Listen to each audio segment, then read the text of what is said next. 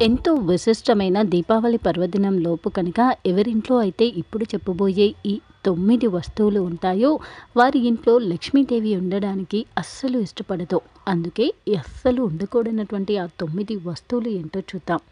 ఎంతో విశిష్టమైన దీపావళి పండుగ పర్వదినం ఈ అక్టోబర్ నెలలోని ఇరవై ఏడవ తేదీ రోజున రాబోతుంది. మన భారతీయ ఆధ్యాత్మిక ఆచారాలలో పండుగలు ఎంతో విశేషమైనవి. ప్రతి పండుగను కూడా ఎంతో విశేషంగా జరుపుకుంటూ ఉంటారు. ప్రత్యేకంగా దీపావళి పండుగ పర్వదినం అంటే నాస్తికులు సైతం ఎంతో సంతోషంగా ఎంతో ఇష్టంగా జరుపుకునేటువంటి పండుగ. ముఖ్యంగా దీపావళి పండుగ పర్వదినం రోజున ఇల్లు కొత్త వైభవాన్ని సంతరించుకుంటుంది. ఇంట్లో మరిన్ని అందాలు పెరుగుతాయి. ఇంటిని ఎంతో చక్కగా అలంకరించుకుంటారు. అందరూ కూడా దీపావళి పండుగ పర్వదినం రోజున చిన్న పెద్ద తేడా లేకుండా ప్రతి ఒక్కరూ కూడా సంతోషంగా జరుపుకుంటూ ఉంటారు. ఈ రోజున వరలక్ష్మి వ్రతాన్ని కూడా ఆచరించుతారు. అలాగే ఎంతో ఇష్టమైనటువంటి పండుగలలో ముఖ్యంగా చిన్నపిల్లలకి ఎంతో ఇష్టమైనటువంటి పండుగలలో దీపావళి పండుగ కూడా ఒకటి. అసలు ప్రత్యేకంగా పిల్లలు ఇష్టపడే పండుగ ఏకైక పండుగ దీపావళి ఒకటనే చెప్పవచ్చు. దక్షిణ భారతదేశం అంతా కూడా మూడు రోజుల పాటు ఎంతో విశేషంగా జరుపుకునే దీపావళి పండుగ పర్వదినం రోజున మన ఇంటిని ఎంతో చక్కగా అలంకరించుకుంటాము. ఇంట్లోని ఎన్నో పాత వస్తువులను బయటపడేస్తూ ఉంటాము. అయితే ముఖ్యంగా మన ఇంట్లో ఉండకూడనటువంటి వస్తువులు ఉన్నట్లయితే అవి మన ఇంట్లోకి ప్రతికూల శక్తులను ఆకర్షిస్తాయి. అనుకూల శక్తులను రానివ్వకుండా అడ్డుకుంటాయి. అందుకే అస్సలు ఉండకూడనటువంటి వస్తువులు ఏంటో చూద్దాం. ముఖ్యంగా మన ఇంటి ముఖద్వారానికి మనము ఒక తలుపు లేదా రెండు తలుపు ఉన్నటువంటి ముఖద్వారాన్ని ఏర్పరచుకుంటూ ఉంటాము. అయితే ఇంటి ముఖద్వారానికి ఒకటి కన్నా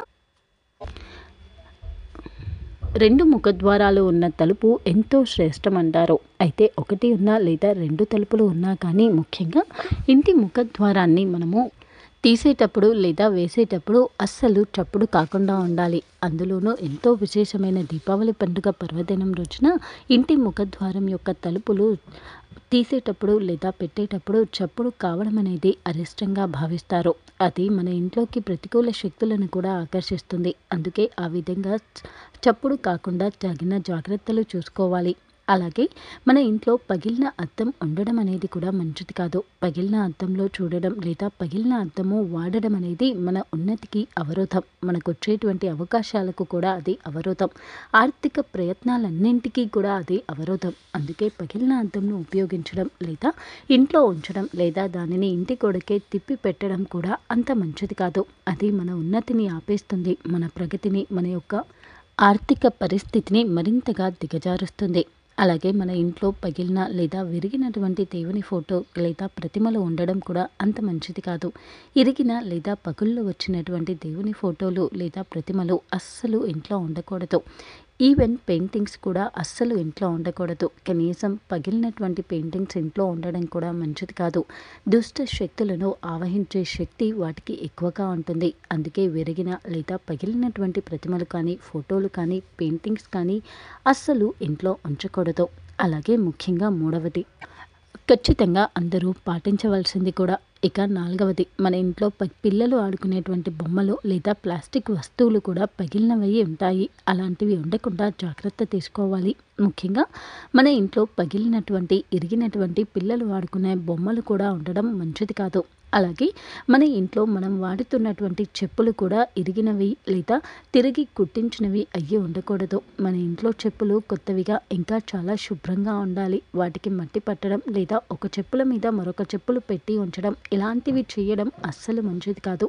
మన ఇంట్లో ఉండేటువంటి మనం వాడేటువంటి చెప్పులు ఇంటి ముఖ ద్వారానికి ఎదురుగా కూడా అస్సలు విడవకూడదు. అలాగే మన ఇంట్లోని పూజా గది గోడకు అవతల వైపు లేదా పూజా గది ఎదురుగా అస్సలు ఉండకూడదు.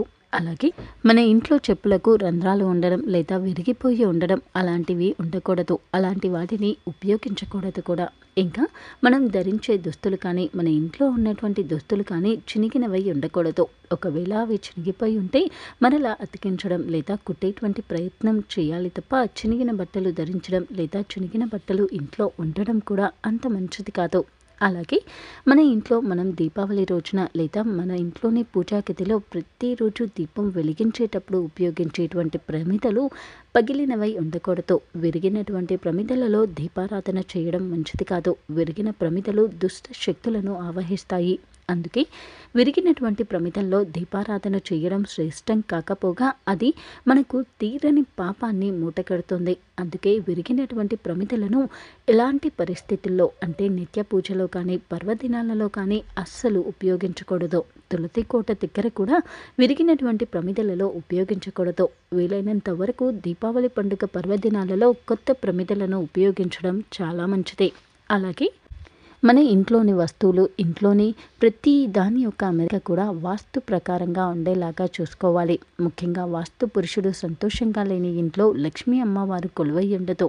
అందుకే మన ఇంట్లో furniture dining table dining hall ఇంకా మన ఇంట్లోని కిచెన్ రూమ్ ఇలా ప్రతిదీ కూడా వాస్తు రూ వాస్తు ప్రకారం అమరి ఉందా లేదా ఇంట్లోని ప్రతి వస్తువులు వాస్తు ప్రకారం ఉండవలసినటువంటి స్థలంలో ఉన్నాయా లేదా చూసుకోవడం చాలా మంచిది.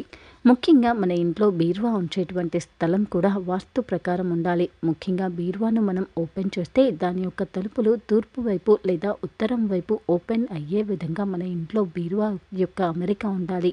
ఇంకా మరింత ముఖ్యంగా వాస్తు ప్రకారం మన ఇంట్లో తులసి కోట కూడా వాస్తు ప్రకారం ఉందా లేదా చూసుకోవాలి. ముఖ్యంగా ప్రతి ఒక్కరూ తులసి కోట ఇంటికి ఈశాన్య మూలలోనే ఉండాలి అని అనుకుంటారు. కానీ ముఖ్యంగా వాస్తు ప్రకారం తులసి కోట ఇంట్లో ఏ మూలలో ఉన్నా కానీ నిత్య పూజ జరుగుతూ ఉండాలి.